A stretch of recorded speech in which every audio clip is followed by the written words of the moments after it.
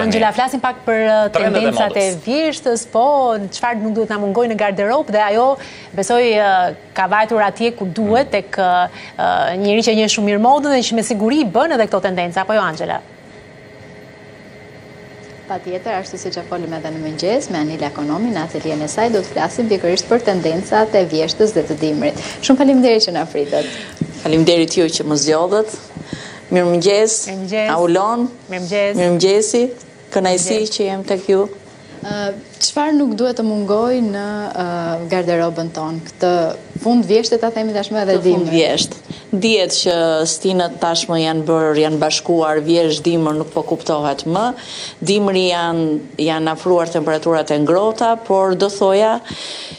Që këtë vjeshtë kemi pikërisht nuk duhet të mungojë pardesyja për mua. Pardesyja është një element sepse dihet që temperaturat janë ngrohur dhe nuk kemi nevojë më për ato xhupat e trasha, për ato palltot me materiale të trasha, domethënë pardesyja duhet të jetë shumë komode.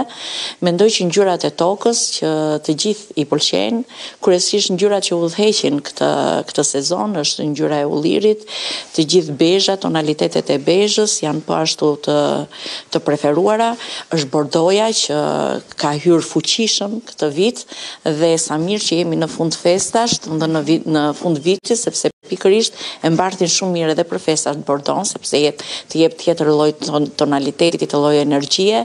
Bordoja është si për femra dhe për meshkujt. Edhe ngjyra e ullirit, po ashtu të gjithë tonalitetet e jeshiles.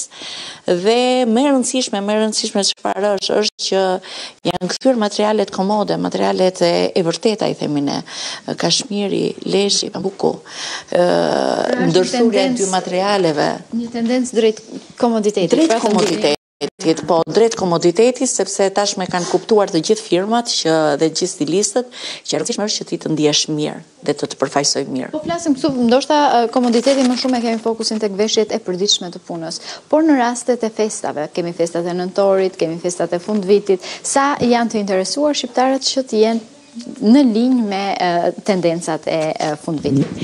Mendoj se janë shumë dhe mendoj që bordoja do t'i udhëheqë dhe të gjithë do shkojnë tek e kuqja e zjarrtë dhe te bordoja dhe janë shumë in këtë vit. Ta përdorin me me masë të madhe, themi ne me, pa frikë. Ndërkohë është edhe fustani i zi minimalist. Gjithmonë nuk ikën nga moda, por këtë vit vjen me detaje të ndryshuara, po po prapë ngelet ai fustani i zi, i shkurtër që brenda një palltoje dhe mjafton të kesh një bizhu elegante, ti je për festë shumë shumë elegante. Gjithmonë më pak bizhu, minimaliste. Gjithmonë sa më pak bizhu, minimaliste, se sidomos ngjyrat, ngjyrat e tokës, bordoja këto nuk kërkojnë. aksesorë të fuqishëm, por mua më pëlqen edhe ky stil që ka ardhur, që ka ardhur minimalist. Shohim që edhe palltot kanë një prerje streto, domethënë mbas trupit linjë, kemi hequr dorë nga ajo pamja oversize dhe mua më vjen mirë për këtë gjë sepse më në fund femra do do nxjerrin siluetat e tyre, por duhet të theksojmë që këtë vit është në modë shumë edhe printi, domethënë gjithë frymëzimi që vjen nga printi. Për shembull, mbrapa shpinës time, kemi këtë fustan i cili frymëzimin e ka marrë nga një pikturë, nga një tablo. Është marrë piktura, është hedhur në, në copë dhe është realizuar fustani. Ky është trendi i momentit dhe mund të them që në këtë rast veshja nuk shikohet thjesht si një veshje edhe për ta veshur komode, por shikohet si një vepër arti. Është unikale, domethënë, një veshje unikale. Ajo që u vu re të paktën gjatë verës mund të themi që një print me interes edhe që u përhap shpejt ishte ai i leopardit. Si e patë ju këtë dhe a do të rezistojë me kohën? Kjo është një pyetje shumë pikante, por dhe unë e kam përgjigjen. Çdo gjë që vjen shpejt ikën shpejt. Është një modë kalimtare, përqafohet shumë nga masa, Por ikën shumë shpejt se me të vërtetë nuk mund ta udhëheqë modën masa.